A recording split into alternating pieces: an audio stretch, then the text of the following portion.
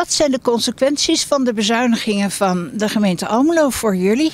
Uh, de consequenties zijn dat kinderen in het basisonderwijs in groep 7 en 8 geen les meer krijgen over vooroordelen, racisme, discriminatie. Wat in deze tijd volgens mij heel erg actueel is. Dat zijn nogal consequenties en dat in deze tijd hè? En dat in deze tijd waarin iedereen over straat loopt en roept uh, tegen racisme te zijn. Uh, wit, zwart, uh, transgender, LHBTI, hetero. En daar hebben wij allemaal een mening over. En wij vinden het belangrijk dat kinderen in het basisonderwijs al heel jong meekrijgen dat je geboren wordt met voordelen en vooroordelen als je wit bent. En dat dat van jou vraagt om anders en op meer divers te kijken naar de samenleving. Kan je een beetje uitleggen waar staat Vizier voor? Waar, wat doen jullie? Vizier is de antidiscriminatievoorziening voor Almelo, eigenlijk voor heel Overijssel. Uh, wij maken onderdeel uit van de veiligheidsregio.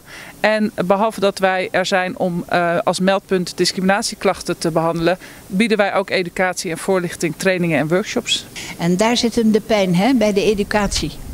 De educatie uh, is uh, in 2021 bij ons uh, wegbezuinigd. Dat betekent bijna de helft van ons budget. En dat betekent dat wij niet meer van betekenis kunnen zijn in het onderwijs. Wat volgens mij hard nodig is.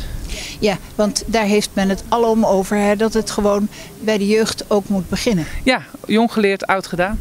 En wat verwacht je hiervan? Van, dat wil zeggen, van, er is nu een politiek beraad hè, op dinsdag. wat zijn je verwachtingen? Zou het doorgaan of niet? Uh, ik verwacht dat de politiek zich bewust is van het feit dat discriminatie een uh, groot vraagstuk is in de maatschappij. Uh, en net zo'n pandemie als corona. En dat dat vraagt om een politieke aanpak en daadkrachtig optreden. En ik verwacht dat onze bezuiniging niet doorgaat.